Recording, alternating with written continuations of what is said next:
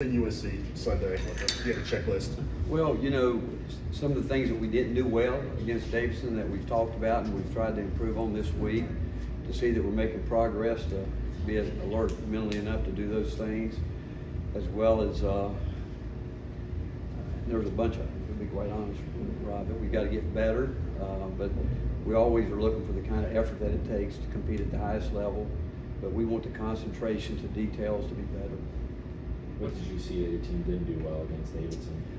Well, a little bit of everything in terms of consistency. You know what we talk about. You know, trying to do really execute the fundamentals of the game, whether it's passing, uh, fighting for your space on the court, rebounding both ways, and uh, defensively, early gaps, getting there, doing your job, doing doing your work early, and uh, so I mean, I certainly don't want us to be the best we're going to be right now, but we just know that each day now you've got to continue to build on the areas that we're continuing to get better with. What is one thing you want to see from this team during this exhibition game on Sunday? You know, great effort, great uh, intensity, and Rob, is that your call? it must be. I'm gonna go check and see if somebody stole it. I hope they're drilling a hole in it. but uh, you know, great effort, um, and that that's in every uh, area of the game. I, I want to see our guys. We as a staff want to see our guys with the concentration in terms of, uh, you know, we're not going to know as much about them as we would because they've got a lot of new players and we haven't exchanged any practice tape or anything like that. So it won't be a normal prep the way we would normally like to do it. But in some ways that's good because uh, you're going to have to be on edge. You're going to have to be ready to help each other. And right now where we are as a team, that's probably a good thing. JP limited at all? Kind of what's the update with his? Yeah, he is, and, and Jahmai too. You know, he uh, they both uh, hit knees the other day in practice, and uh, they both have been uh, hampered by that. But we'll see today. I think they'll both will do a little bit, and, and we'll see by tomorrow, and then we'll see by what how it happens. But if not, it's just an opportunity for some guys that probably wasn't sure how much they would play. Gives them a chance to be ready to see what they can do. Are you going in with any scripted minutes for guys like Zakai? Probably gonna play a lot this No, year. we'll no. Uh, we'll we'll just play it, but I mean, we're gonna we, we know we want to get looks with a lot of different guys and maybe some different a lot of lineups. But if we don't have a full roster of guys, I'm not sure how much we can do that. How much do these exhibitions help you understand your rotation and hammer it out a little bit, if at all? Well, I think it's going to help both of us a lot because one, I'm sure, like all college players right now, we're all ready to start playing games, and I'm sure that you know I know you know I have a great deal of respect for Mike Woodson and how he coaches and how he plays and what he does to put his players in great positions uh, on the court where they need to be and try to get them the ball and let them go to work and uh, solid defensively. And so, with that said, um, we're going to have to get our guys out there and hope that uh, some of them it'll be the first time this group has been together and when there's actually fans in the stands and I'm sure some of them will handle it different than others. But these are good. I mean these exhibition games are really good. Even the close scrimmage against Davidson was was great for us. I've said many times I think with as long as we practice now we need to have about five of these because not only does it help us uh, I think we cut down on some injuries in practice because we go at each other so long, and, and I've said many times it would help referees to get their feet on the ground, get going, and um, that's some, something I hope that going forward at NCAA will take a look at. What kind of strides has Cam Carr made? You know what? He, he has stacked together a, a, a pretty good last 10 days, and uh, that's what we're looking for the consistency uh, in the right areas that we need him to be good. And it's, uh, we think he's got a chance to be a, an outstanding all around player. But uh, the biggest thing, I guess, with he and all of our younger guys is the consistency in terms of being able to play at a level when they start getting fatigued. Can they maintain and not uh, let fatigue be the reason they make mistakes? How would you assess like his knowledge or understanding of like the sets and schemes that you're trying to put in place? Well, I think he understands uh, what we're doing, uh, but it's a matter of executing it at a high level with uh, knowing that other teams are trying to keep you from doing what you want to do on both ends of the court. And so that's where uh, I do think he's gotten better with cardio toughness. But I would say uh, our team right now, we've got two, maybe three guys that are probably ready to go at the, that level the way we want to, and these other guys need to get there.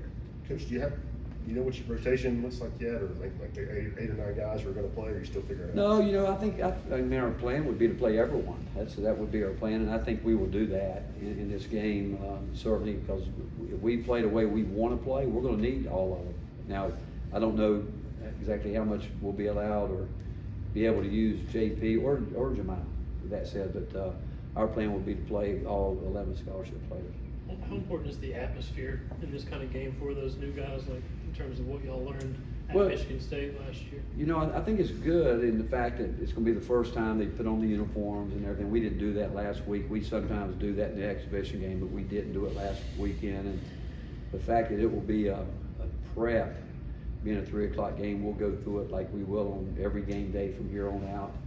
Uh, you know, we, again, we weren't able to do that, uh, last week exactly the way we wanna do it. We'll get close to being able to assimilate how we do things, and that'll be a, in itself a huge thing for our younger guys. We actually will start today doing some of those things so they get acclimated to what they'll be able to look at over the next really, hopefully 35, 40 games. If Zakai turns an ankle or is in foul trouble, what do you do? Who's, who's? It would be, you know, we, we got, uh, you know, we played a lot of different guys there at the point, but Jordan is ready, You know, he'll play that spot some, so Ken Bishop, Chaz has done it, uh, Jahmai Mashack's done it, and I mean, uh, Z actually was the one to remind me, uh, we were kidding around the other day when we were on our way to the SEC meeting, he said, Coach, you do know that Shaq was a point guard and that when we went to the Sweet Sixteen.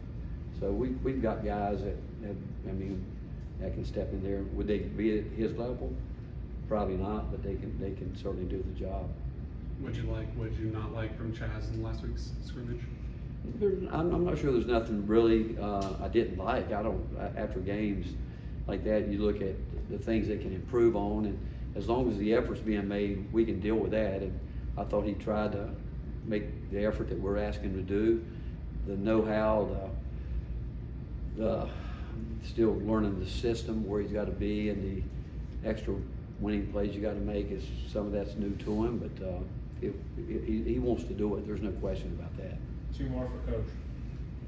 Much do these scrimmages help young guys like Bishop Boswell experience something bigger rather than just facing his own teammates? Because he's never been on the stage before. I, I think it's huge. That's why I, I mentioned I wish we played more of them because I think anytime you can get outside competition and, and I, again, like I say, I mean, when you practice, you know, as much as we do, they're ready. I mean, they were ready probably a month ago to start playing somebody else because we've been going at each other so long. And, and it's not just, it's every team in the country. I mean, I think any, you talk to all athletes that what, where our schedule is now and the way our calendar is set up, they're ready to play. And uh, like I said, I think it help a lot uh, ways that we could do more of these. And but the fact is, um, it'll be the first time experience for some of them, even the older guys, the guys that have come in that are seniors out of the portal. They're gonna, it'll be all new for them. How would you say the transfers and the returners are kind of meshing on the court together, especially after that scrimmage? Well, I think, I don't, uh, again, I think we're gonna, uh, mesh in terms of, uh, because they like each other, they wanna do well. Now, in terms of uh, continuing to understand what they have to do, that's still gonna be a, uh, work in progress, and as the year goes on, we'll have to make adjustments, because our players will make us make some adjustments. And, uh, so with that said, we just wanna see certain guys do certain things, and if they can do those things, then we can add and build onto it. But if they don't, it slows us down, and then we might have to pivot and go a different way. But uh, the fact is, uh, right now is a chance to see what a lot of them can do when against outside competition. Thanks, coach.